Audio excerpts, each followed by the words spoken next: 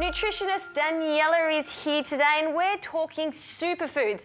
Today we've got something interesting. Yeah, we've got acai. Mm -hmm. uh, mm-hmm. this is a mix of acai berries, some goji berries, blueberries and pomegranate. Mm -hmm. So mm-hmm. lots of really colourful purple red berries okay. full of antioxidants. I think it matches everything we're wearing it does. today and the berries. Yeah, coordinated, always nice. yes. Um, but we're just going to use it in a really easy way. It's just a, a, way to boost your, your morning yogurt or a snack that you're having in the afternoon. Yep. So we're just going to pop some yogurt in a bowl. Okay. It's really easy. Yeah, so some Greek yogurt or natural yogurt yogurt. Whatever you like. Yes. In it goes. Yep, and then we're going to pop in some of this acai and berry okay. mix. So this just takes your usual yogurt yeah. to, you know, another level, just making it extra nutritious for yourself. Yep, that's exactly right. And that's what superfoods are all about. They're just about boosting the nutrient value of the food you're already eating. Mm -hmm. It's a really easy way to just get extra health benefits. Okay. Beautiful. And we pretty much pop it in a bowl. That's as easy as it is.